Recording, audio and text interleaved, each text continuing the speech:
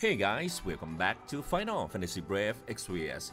Today will be a 99 rainbow summon guys from everyone on YouTube on the first day of 4th year anniversary era banner. Okay, so not much just want to show you the rate what luck can you get in case you miss some of those youtuber. You can check them out. I post their name and everything. As a credit you can see them on their channel. So a little bit of promotion on the newcomer. Anyway guys and also old comer all right so i hope you enjoy this and i will see you guys next time guys.